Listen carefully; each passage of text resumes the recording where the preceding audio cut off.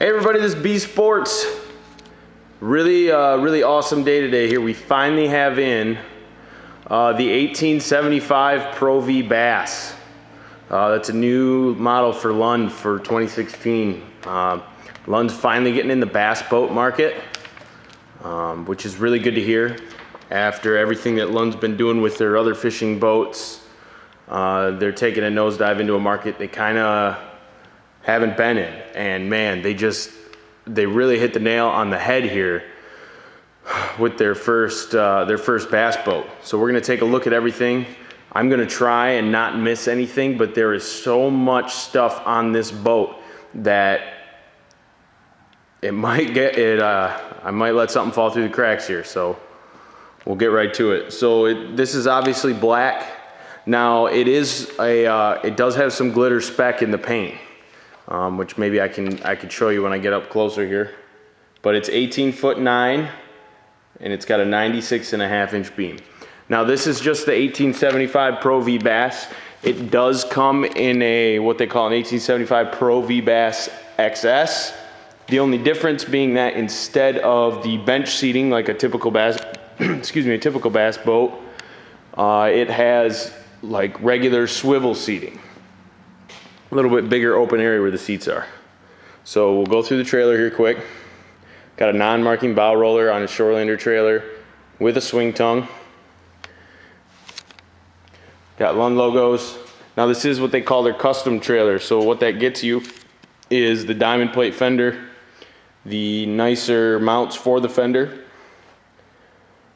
Um, you have LED lights as well, and you do have the built-in straps on it. Now this one's got a 200 horse Optimax on it, which is still the way to go with bass boats.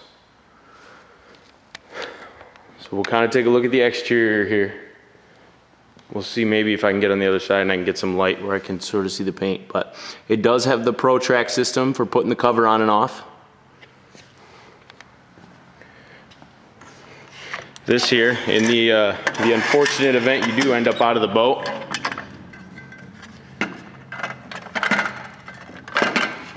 That's your ladder to get back in. It's actually really stable uh, for that kind of just single, single support ladder. And it's really easy to get in and out. I mean,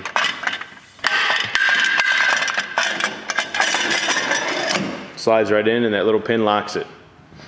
So like I said, let's see if I can get over here and kind of get in the light. I'll show you kind of the glitter speck that's in the paint. You can kind of see. All right, so we'll hop up in and we'll get started here. So we'll start at the front. I'll kind of work us back here. So, so here's the front area. Hey there. Hey there. Sorry. So here's the front area. Uh, you've got your trolling motor 12 volt and you do have uh, trim control for the engine up here which is nice. And then you've got a cup holder the slots for holding your tools your pliers whatever.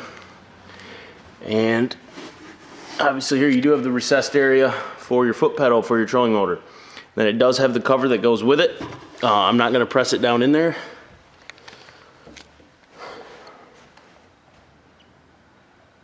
Just kind of check that out there.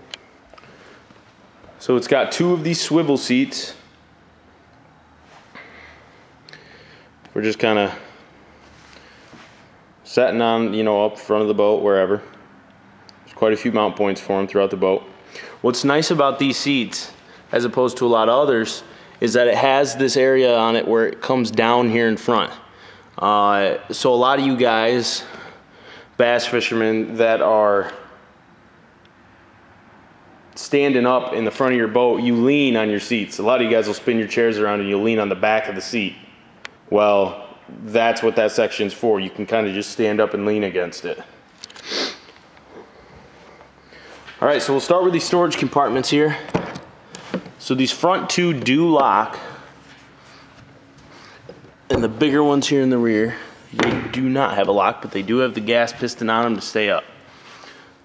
So, I mean, just absolutely massive storage compartments.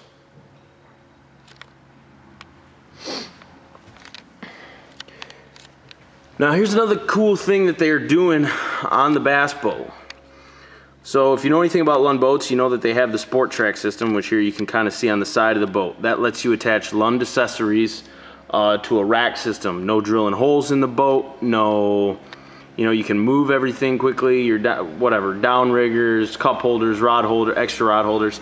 They're putting that now on the bass boat in the rail of almost all the storage compartments. So you can put snaps on there or whatever you can get to fit on that rail for some added storage organization. Really kind of a smart thinking um, by Lund there.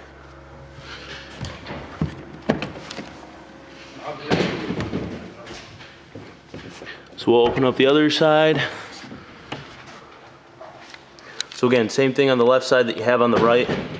You have the gas piston to keep the uh, compartment, the lid open on the back larger compartment, and you have a lock on the front one. Again, the Sport Trak system is in the rails of it. And then you have a uh, some plastic racks that hold your lights. So that's kind of nice. So we'll close those up.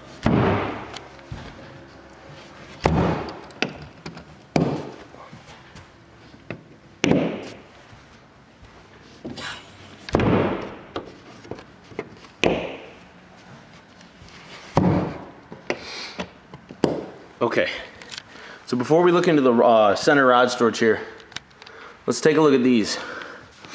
So a lot of other bass boats have these.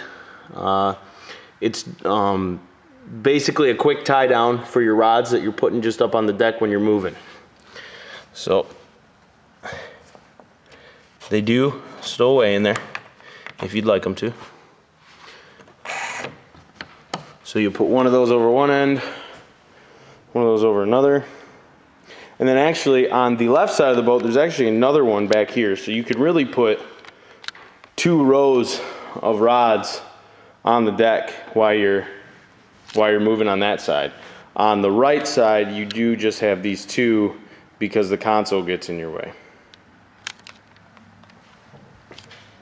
So, all right, we'll take a look here. This is what all the bass guys actually want to see. This is the center rod storage. So, space for 15 rods. And I'll show you kind of the, uh, the end system here. So you got that front one going across for five shorter ones, and then we can fit some longer ones here up on these two rails. Now again, this compartment has the sport trak system in the rail of it. So again, you can connect any of those Sport Trak accessories into it. Another thing I'd want to point out here is we'll take this cover off in a minute, but when this cover's on, you can actually fit four tackle boxes set on their sides along the sides here. You can fit two on each side. So they didn't just make this cover to just kind of go across and be square. They purposely made a cutout there so you can fit tackle boxes in there. So we'll take this out and take a look. So, under that cover, kind of hard to see, but in the front you've got your two trays for your trolling motor batteries. And then you have two more kind of separated bays there. Uh, you know, mounting your onboard chargers or more trays for batteries. So we'll slide this cover back in.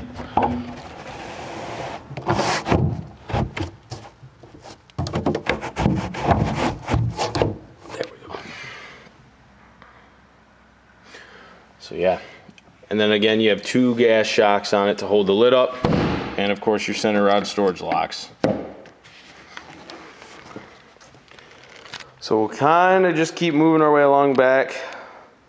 So in the, the area where you're sitting here, you do have the vinyl floors. This step here, kind of go through that. This is actually your cooler as well. So you open it up and the cooler fits right down in there.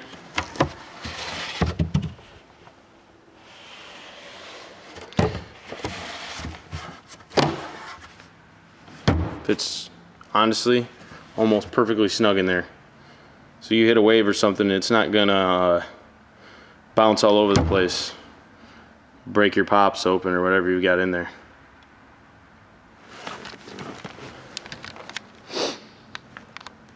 So we'll take a look kind of over here on the left side. So I'm sitting in the left seat.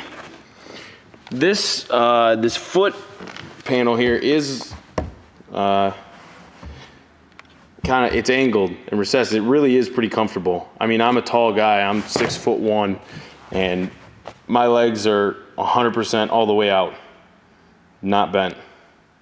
So really, uh, really a lot more space than maybe the pictures show uh, in these seats. This is where your bump stick goes, your ruler. Um, we don't have it in the boat right now, but Lund is sending us one, and um, there's videos there's videos on Lund's website about that bump stick. It's just a ruler and it slides right in here.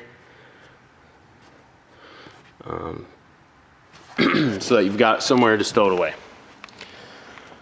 So I suppose before we look over at the console, I'll kind of show you guys the seats here. Um, way more padding than any of Lund's other seats. I mean, they're really um, at, just super comfortable to sit in. You feel like you're sitting in a recliner, honestly. Really well done. And then between them, you've got a cup holder in both of the spaces between the seats, and then you, you've got a handle as well. Then there's another handle on the left side of the boat here. So we'll take a look at the console now. So here's the front of it. So again, you can kind of see the spec in the uh, fiberglass here.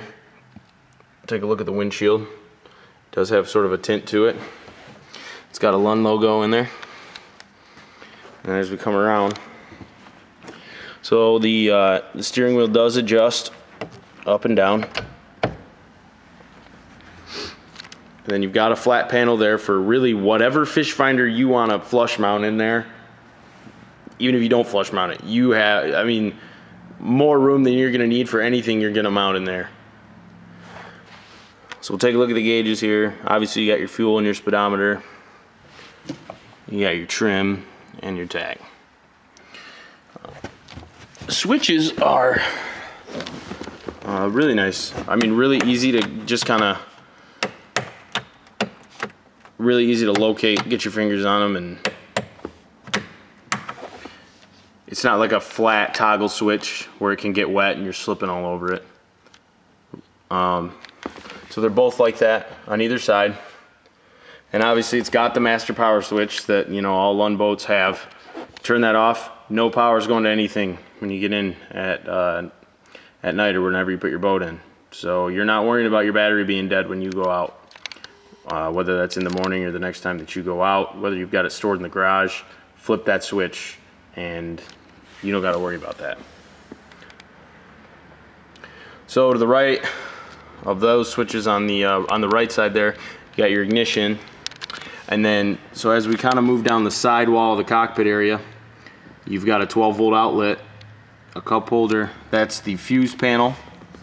Uh, you've got kind of a long storage area here, which I've got the extinguisher setting in, but we'll take a look at that. And actually another cup holder uh, right to the right, kind of on the side of the seat. So you've got the control for the outboard, obviously. And then again, you do have that tilted angled uh, foot plate area there, and then there is a spot to put a hot foot throttle in. If, uh, if that's what you wanted to do. Okay, so uh, so standing up here in the bow area, just kind of look at the cockpit area. Uh, to the right of the or excuse me, to the left of the left seat, you do have a, uh, a long open storage compartment that, that, you know, whoever's sitting there can kind of just set whatever in there uh, to have it right by them, easy to get out, no doors, no lids. So, and then it, it does have this area of the deck where you can walk, you can walk from the front to the back of the boat without stepping in the cockpit. Now, if that's what you're gonna do, being that the live well is in the center of the boat there, this does fold down and it has like a weathered, this middle seat has like a, um, like a tough vinyl coating on it so that if you're, you know, you're stepping on it with your boots or whatever and you're walking all over the boat, you're not gonna, you're not gonna mess up the, the back of that seat and you can kind of wash it off easily. So as you're walking straight from the, the bow area, you step down, you go up. So we'll take a look at this. So this does lock. I'll show you before I pull it up.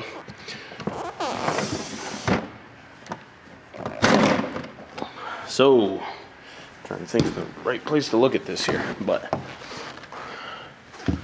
So there's nine tackle boxes in that. And it's it's just in a track system. It pulls straight up and then it stays up. It doesn't it's not like you gotta hold it up while you pick what tackle box you're picking out of it. Um, very cool. Kind of a, a nice location for the guy that's sitting in that swivel seat. So then obviously it just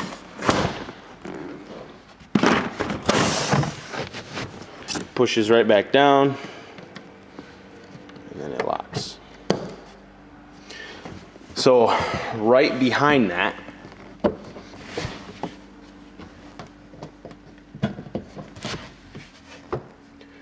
is your live well. So it does have a separator. It does, it also has two separate doors for each side of it. So, you know, you can, you're out fishing with your buddy, you know which fish are yours and which fish are his. And again, even the live well has the sport trak around the rim of the of where the lids sit on there. So another thing that I sort of forgot in this cockpit area, gonna come back here, I'll show you. This does fold up. The bottom of those seats and the middle seat fold up. And there's a ton of storage down here. It actually, and it's hard to show with the camera, but the center section goes all the way in under where those tackle boxes pushed up.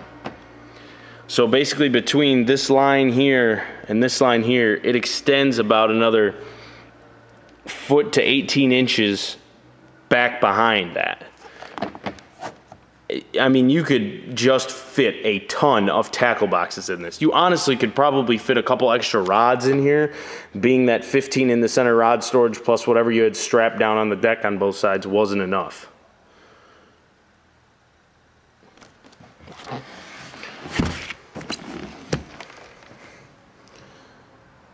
All right, so took a look at the live well, took a look at the uh, pop-up tackle storage. So on either side of that,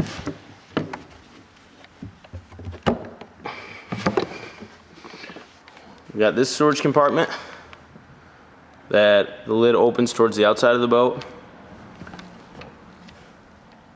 Really big, really big storage compartment.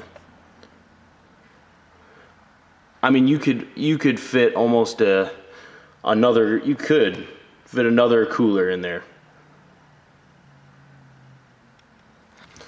So that's, and again, it's got the sport trak in the lid. And then behind that, got one that's um, a little smaller. But this one, again, it extends back. You can see the side of it here. It extends back um, under this seat base here. So on the other side here, got the same setup. In that back one on this side, you've got the tray for your crank battery and then your oil, your oil container for the Optimax.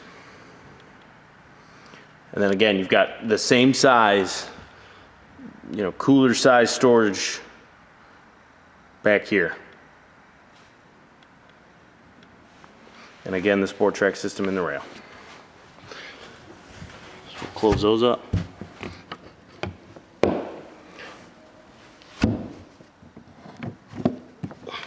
So for these swivel seats, you've got two mount, you got a mount point on either side back here, on either side of the ski pylon base. And then you've got one up front. So we'll kind of just take a, uh, a, quick look here at the interior. I'm trying to think of anything that I've forgotten about it.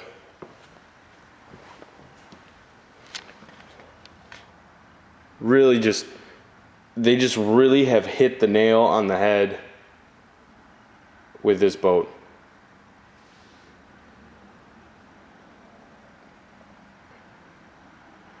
So all right, we'll uh, we'll step out of the boat, take a look at the outside one more time.